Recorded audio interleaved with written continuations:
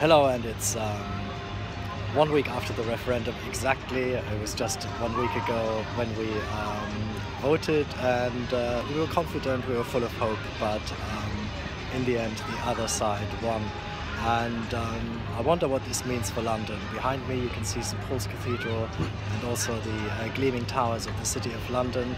Many of those banks will now certainly move jobs uh, to other cities Paris, Frankfurt, Dublin, Amsterdam, and there's some good that will come out of this for London because I think it puts a dead stop onto gentrification.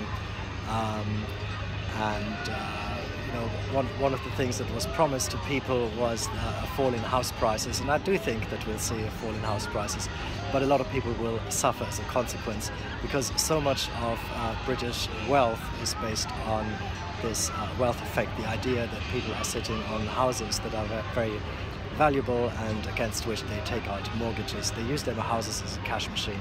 So this is going to end as house prices fall. People might be locked in negative equity and they might find it difficult to keep up their mortgage payments if um, they lose their jobs. So uh, it's not a good thing overall and if people wanted to put a stop to gentrification, this was a very um, stupid way to go about it. But having said that, um, I dream of uh, skating in the unfinished towers at Vauxhall. Um, I think London is going to be, uh, Berlin is going to be the new London.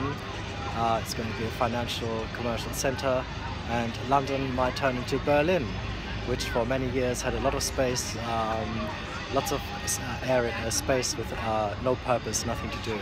Um, as the former mayor of Berlin once said, we're poor but sexy. Maybe that's the future for London.